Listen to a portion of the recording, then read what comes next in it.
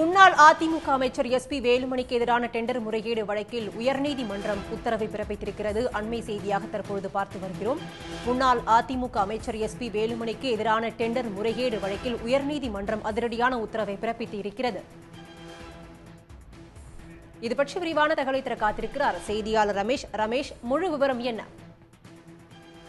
முன்னாள் அமைச்சர் வேலுமணிக்கு எதிராக திமுக அமைப்பு செயலாளரும் மாநிலங்களை உறுப்பினர் ஆர் எஸ் பாரதி ஒரு வழக்கை தொடர்ந்திருந்தார். அந்த வழக்குல அப்போது உள்ளாட்சித்துறையில கட்டுப்பாட்டுள்ள மாநகராட்சி மற்றும் நகராட்சிகள்ல உள்ளாட்சித்துறை அமைச்சராக இருந்த எஸ் பி வேலுமணி கைகாட்டும் நபர்களுக்கு ஒப்பந்தங்கள் வழங்கப்பட்டதாகவும் அமைச்சரோட சகோதரர்கள் நெருங்கிய உறவினர்கள் நண்பர்கள் இப்படி பல நிறுவனங்களுக்கு பல கோடி மதிப்புள்ள ஒப்பந்தங்கள் சட்டவிரோதம் வழங்கப்பட்டதாகவும் தெரிவித்திருந்தார்.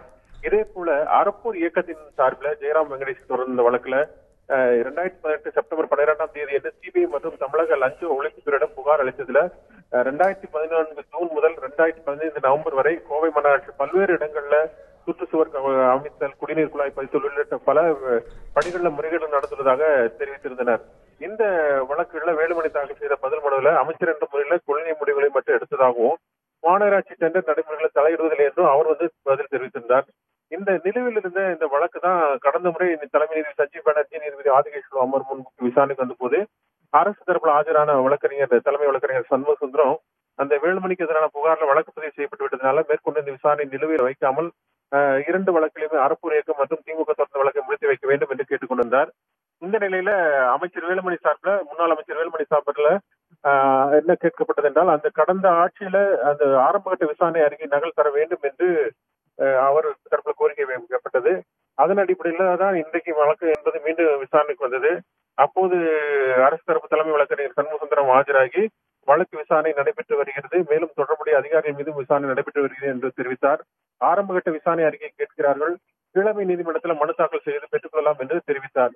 வேலுமணி சார்பில் அந்த ஆரம்பகட்ட விசாரணை அறிக்கை பெற தனக்கு உரிமை உள்ளது என்று அவர் தரப்பில் வாதிடப்பட்டது.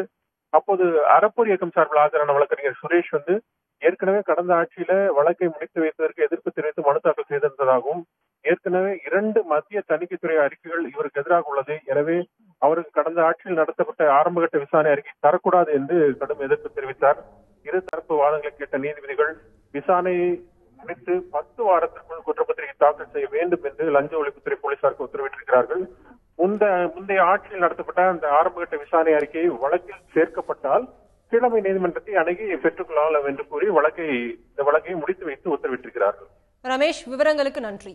உடனுக்குடன் செய்திகளை தெரிந்து கொள்ள சன் நியூஸ் பெல் ஐகானை கிளிக் பண்ணுங்க.